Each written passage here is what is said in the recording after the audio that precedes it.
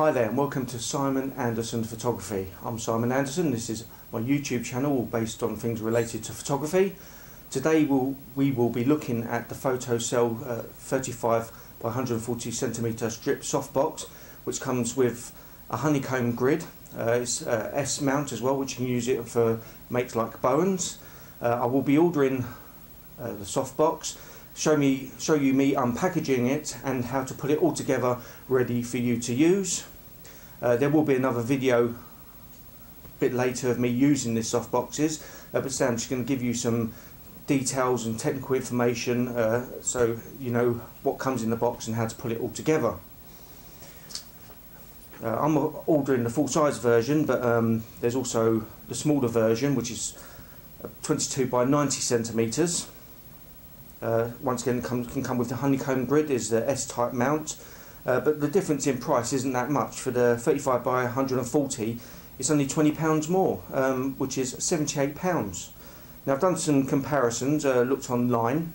Uh, if you wanted uh, a make like Bowens, which is uh, 40 by 140 centimetre, the price difference is quite a bit more. Um, just for the strip soft box, which is £192, uh, and with what they call the egg crate is another £239. So for just for one, it'd be £431 compared to the PhotoSEL, which is £78.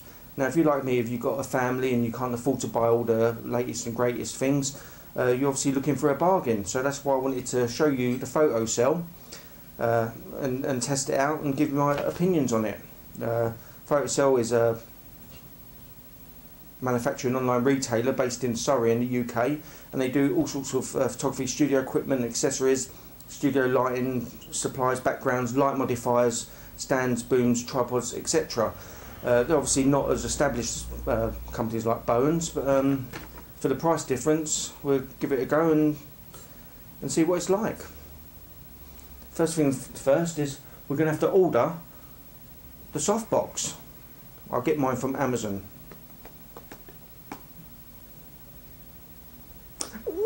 Whoa, that was quick. There we go, there's the box. Wow. Amazon are really quick nowadays, aren't they? So first of all, this is the box it comes in. Just get the Stanley knife. Be very careful when opening the box because you don't know because a lot of fabric in there. We don't want to cut any of the fabric, so be very very careful. Mind your fingers.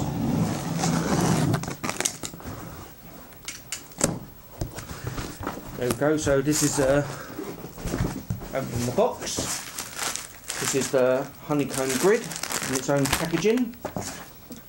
Uh, got some assembly instructions, photo assembly instructions. Uh, this is for the octagon. Well, it's all different types. Just a square, rectangular, and strip soft box, and the oct octagonal soft box as well. So you get instructions for all the different varieties there, depending on which one you ordered. There goes the box. So our soft box comes in a nice carry case. It opens at one end, held together by Velcro. Uh, we've got the rods, which is like the skeleton to the strip soft box, which uh, forms the structure. We've got uh, the ring mount. This is uh, you put this inside the soft box, and then your strobe will fit into there, or this will fit onto the strobe.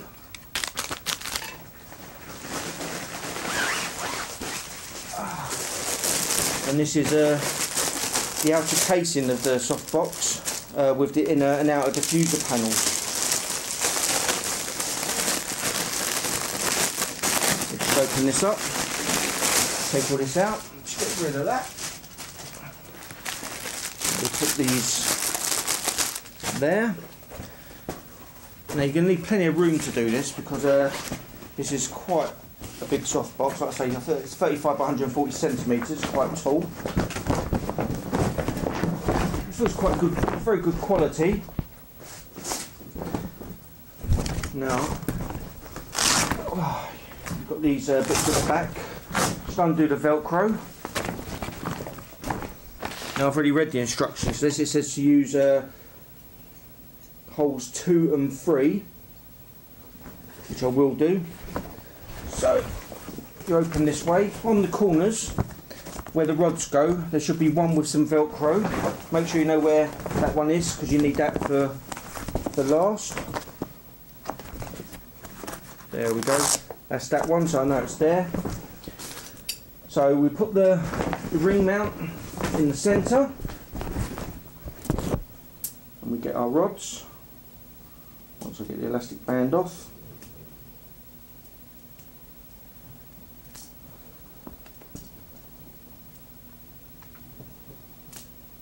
Oh, that one busted. Now you need to get these the right way round because uh, with these rods you have a thick piece of metal one end and the other end is a thin piece of metal. Now the thick piece goes into the holes in the ring mount like so and they are numbered and it says number two and three for this one right there we go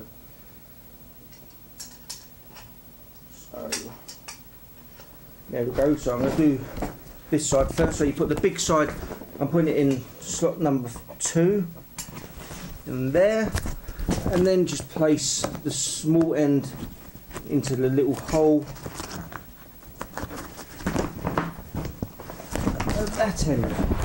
Now we know that end's got the velcro and we need to do that last so I'm going to go to the opposite side.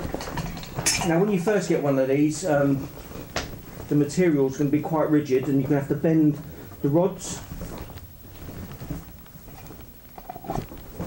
So put that there. And put that in. Oh. right this is why you need to undo these velcro bits to give you a bit of space to get these rods in.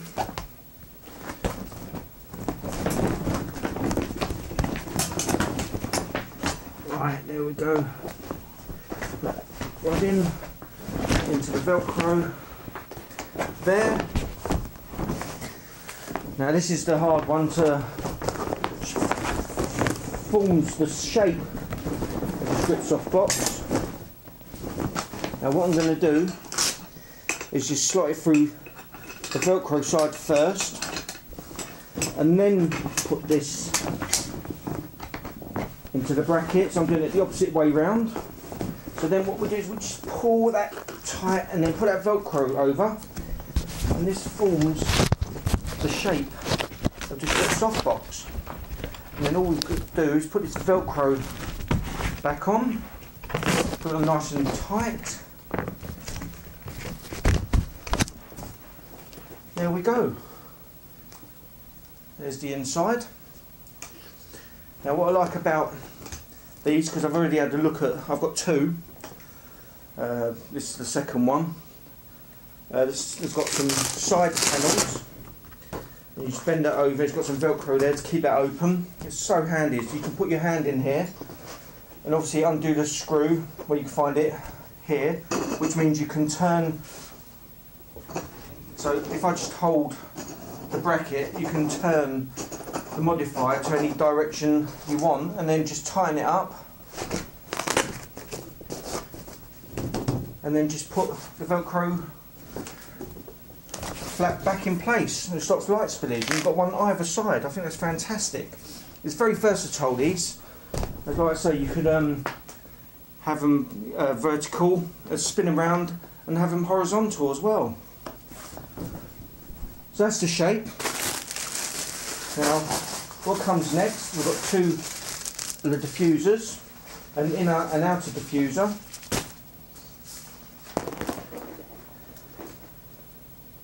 Now, the inner, it's just got some clips on. You can see here, you have some sort of uh, little straps, like elasticated straps, and all you do is hook these onto the straps. Oops, get it the right way round.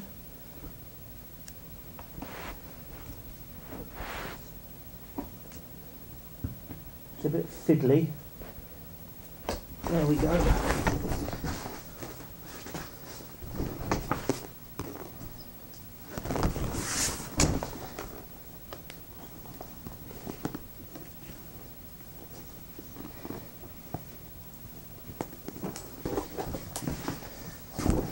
once you've done this a few times, it'll become really easy.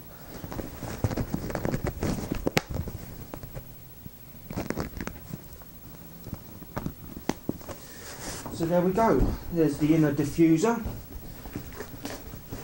When you strobe, the bulb inside, the flash, it hits this, it diffuses this and it bounces all around on the silver interior. And then we have another outer layer here. Now this is just stuck on with a velcro edge.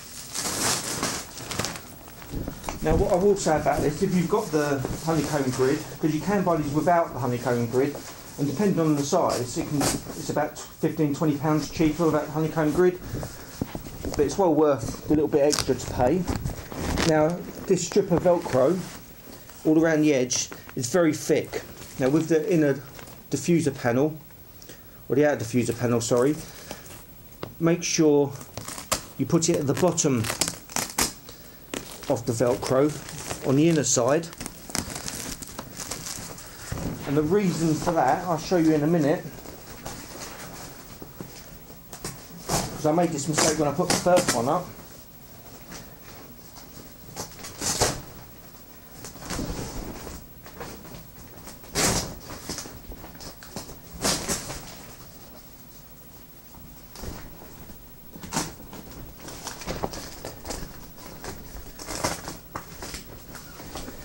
Right, like I say, this mainly applies if you've got the honeycomb grid because, there we go, that's now, so it's going to be nice soft diffused light. Let's take the honeycomb grid out.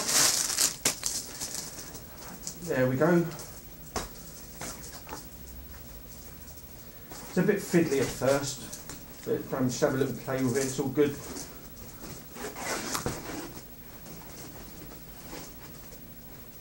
So now we've got an end here. Let's put this over in. Now, because we've left the, the outer bit of Velcro, this will now stick to there. Now, just get it all the way round. It doesn't matter if you get it wrong, because you can always unstick bits. There we go, I'll do it like that. Like I said, it doesn't matter if you get it wrong, because you can unstick it and then re-stick it in. I'm just going to do it Go.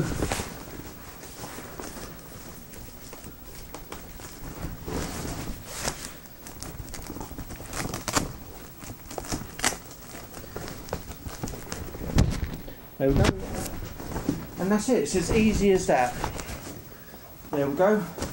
Now the thing about the honeycomb grid, it's going to be excellent if you're sort of directing, so you're the camera, so if I'm directing my light at the model or subject this way, it's going to reduce flare into the lens and also give you more directional light so it doesn't just bounce all over the place. So this is excellent. For an extra £20, I'll say that's great value. Now I'm just going to have to sound the quality. This is going to do exactly what I want it to do. It's really big. I've got two of them. As you can see, this just slots onto onto your strobe, or your strobe goes in there, and then just far away. Put it on the stand. You can rotate it, and also what I'm going to show you, if I because I do a lot of off-camera strobes, well, off-camera flash guns more than my strobes. I've bought some L brackets, so I can use my flash guns with these.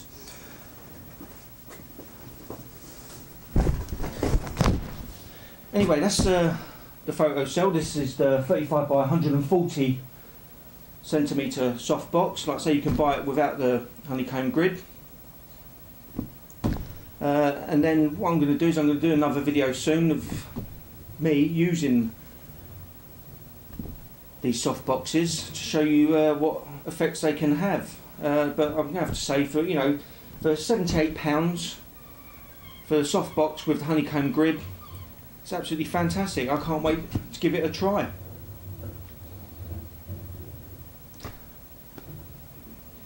Plus my daughter wants to come around and say hellos. Normally my model, who models for me anyway. Hello. My dad will be doing some pictures of his shots and put them on YouTube as well. Okay, so my daughter's going to model for me in the next video. I'm going to do it right here against this wall. I'm going to get both um, my softboxes set up, uh, probably with my flash guns instead of the strobes. I haven't decided yet. Just going to try some different shots, different effects, and um, see how it turns out. Anyway, thanks for watching my YouTube video. Hope it helps. Hope you like the product. Um, don't forget to subscribe to me, give me a thumbs up. Also follow me on Twitter. I'll also put the link to Amazon for the soft boxes down below and all the information you need. Um, that's it. I look forward to seeing you in the next video. See you later.